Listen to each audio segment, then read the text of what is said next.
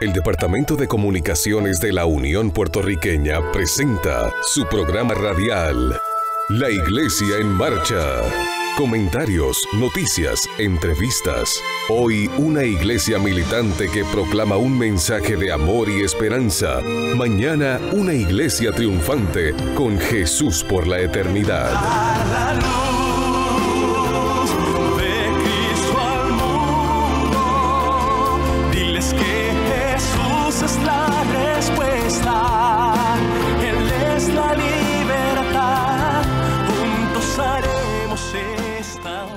¿Qué son los valores? Desde el punto de vista material, el valor es una cualidad más o menos objetiva. El valor es lo que hace que consideremos buenas las cosas. Los valores, cualidades que percibimos en los seres que permiten que los consideremos valiosos. Los valores representan una realidad subjetiva. Un niño algo le puede tener mucho valor y el niño no sabe por qué. Me gusta eso y lo considera. No todo el mundo valora lo mismo que otras personas. Y los valores representan a veces esa realidad subjetiva. Depende de la utilidad de actitudes que atribuimos a lo que consideremos de interés. Pero también hay un valor objetivo. Por ejemplo, la diferencia de un billete de 100 y, de otro de un dólar es muy obvia. Si hablamos ahí de valores en el, en el paradigma de lo material, usted dirá, yo quiero el de 100. Los valores desde un punto de vista moral o ético los fijamos en las creencias filosóficas o religiosas, en principio con lo que enjuiciamos lo conveniente con lo inconveniente. Algunos han dicho que los valores son los blancos donde los hombres dirigen los dardos de sus acciones. ¿Cuáles son las bases según las cuales escogemos nuestros valores para trabajar? Algunos escogen sobre la base de la intuición. Dicen, destrozar flores silvestres me parece mal,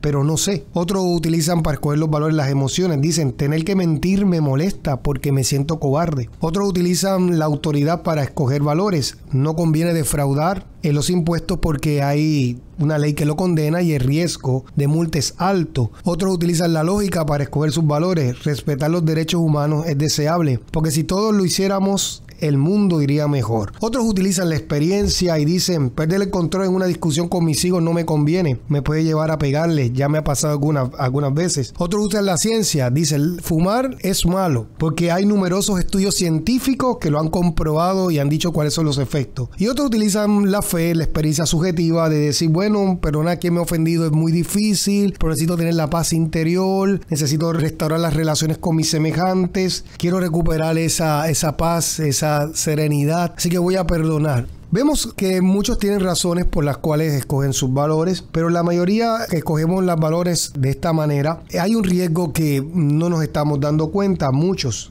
Esta base que se utiliza para escoger valores representa el riesgo de que está basado en el hombre, no en Dios. El asunto me parece mal, pero no sé por qué. No se puede vivir una vida basada en la intuición porque a veces nuestros valores responden a nuestro bagaje personal. Por ejemplo, en la Biblia encontramos que en Marcos 1.32, cuando hubo la puesta del sol, le trajeron muchos enfermos a Jesús, porque se entendía que sanar en sábado no era correcto. Así que a la puesta del sol, dice Marcos 1.32, le trajeron todos los enfermos. Si la gente, pues, trabajaba este asunto con su bagaje. Lo lindo es que Dios, a pesar de nuestros bagajes, a pesar de nuestras intuiciones, Dios es capaz de bendecirnos. O los sentimientos. Me no debo hacer esto porque me siento mal. Esta vez está basada en nuestra conmovisión. A Jesús lo acusaban de que comía con pecadores y publicanos. En fin, a donde Dios quiere llevarnos es que nuestros valores deben estar fundamentados en la palabra de Dios y en la autoridad de Cristo. Nuestros valores deben estar fundamentados en lo que Dios ha dicho. En el tiempo de Jesús, los líderes religiosos basaron sus decisiones en su intuición, en sus emociones, en su autoridad, en su lógica, en su experiencia, en su ciencia y en su fe, y rechazaron al Señor de la Gloria. San Juan capítulo 5, y con esto vamos a concluir, dice lo siguiente, las palabras de Jesús a los líderes religiosos de su tiempo. Y también el Padre que me envió ha dado testimonio de mí. Nunca habéis oído su voz, ni habéis visto su rostro, ni tenéis su palabra permanente en vosotros, porque no creéis al que Él envió. Escudriñad las escrituras porque pensáis que en ellas tenéis la vida eterna, y ellas son las que dan testimonio de mí. Sin embargo, no queréis venir a, a mí para que tengáis vida eterna. Eso le está llamando la atención a los líderes, que teniendo una experiencia religiosa y habiendo hecho de, de sus convicciones las razones para ellos ejercer su liderazgo, habían olvidado que nuestra vida debe estar centrada y nuestras decisiones en la persona de Jesús. La Biblia nos habla de Cristo. Nuestra razón, nuestra base para tomar nuestros valores y hacer decisiones deben estar fundamentadas en la palabra de Dios. Porque es la única manera que nosotros podemos cumplir la voluntad a la hora de tomar decisiones basadas en los valores. Los valores cristianos deben ilustrar por qué no miento,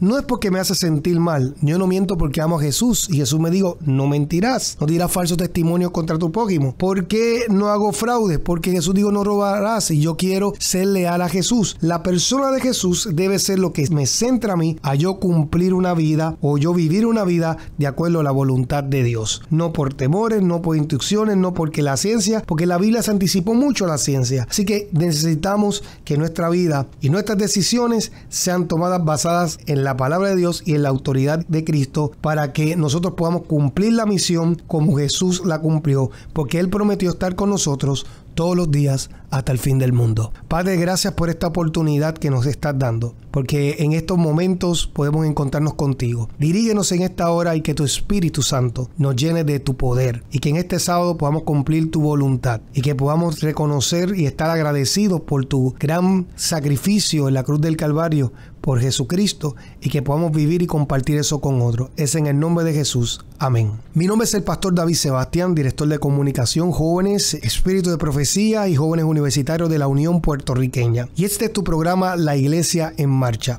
Bienvenidos a este programa y felicitamos a todos aquellos que en este mes han cumplido años y también queremos agradecer a Dios porque este es un mes que nos recuerda que todo lo bueno, aún lo bueno y lo menos bueno, debemos ser agradecidos por Dios porque Dios está con nosotros todos los días hasta el fin del mundo. Así que darle gracias a Dios es una oportunidad de reconocer que Él es el benefactor de nuestras vidas y por este medio queremos darle gracias por las buenas cosas que nos ha dado. Saludamos a todos los que nos sintonizan a través de Radio Sol y Radio Paraíso en este día. Pasamos algunas informaciones prácticas que están ocurriendo. Hoy es 25 de noviembre y este día se celebra el concurso bíblico Conexión Bíblica con el lema Conéctate con Jesús. Esto es lo que antes se conocía como el boom bíblico. La Unión Puertorriqueña llevará a cabo la final en el día de hoy en la Iglesia Adventista del Séptimo Día de Río Piedras, allí frente a la Escuela República de Colombia, esquina de Diego. Estaremos la juventud de los cuatro campos de Puerto Rico, norte, este, sur y oeste. Y queremos decir que por el norte estará Julianis Cruz, Solivet M. Cruz Ramos, por el este, Mónica M. Díaz Vidot y Amanda E. Torres González, por la Asociación del Oeste, Johanny M. Pérez Colón, Emanuel Irizarri y por la Asociación del Sur, Briani Liz Velázquez Rosado y Osvaldo Antón Prieti León. Este grupo de muchachos demostrará el conocimiento en Daniel, Oseas